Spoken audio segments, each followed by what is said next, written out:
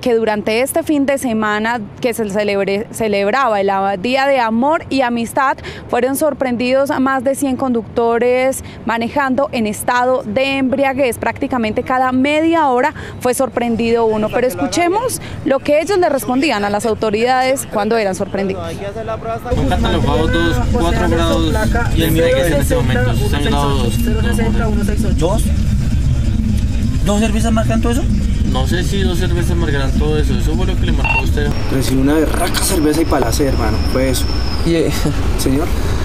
pero me dice que tomó dos. No, o sea, dos, pero realmente fue, yo dejé ahí el cunchito del camino, yo no tomo, ¿sí me entiendes? Que no debe, nada teme. Y si yo saco eso, y si me tomé un águila solo, pues no, o sea, no tiene nada que ver, o sea, no entiendo. Y, y ya como digo una cosa, ven peores borrachos por las vías de Bogotá y eso sí no los pagan.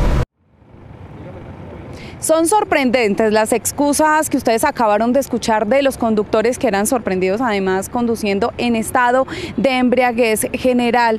Eh, varios de ellos aseguraban que se habían tomado cervezas, que solo el cunchito. ¿Ustedes qué dicen frente a esas excusas y por qué aumentó el número de conductores durante este fin de semana, pues sorprendidos manejando en estado de embriaguez? Es importante manifestar que fueron sorprendidas 118 personas bajo efecto de licor conduciendo sus vehículos eh, con algunas excusas de que solo habían tomado una cerveza, un vino, realmente se requiere no ingerir ninguna clase de licor cuando se va a conducir. También es importante resaltar la disminución en muertes en siniestros viales en fin de semana. Pasamos de 37 el año inmediatamente anterior a un valor de 13 en el momento, una disminución importante del 65% y esto se debe también a la responsabilidad y que entienden los conductores que no se puede conducir bajo efectos de licor y lo más importante, respetar las normas de tránsito.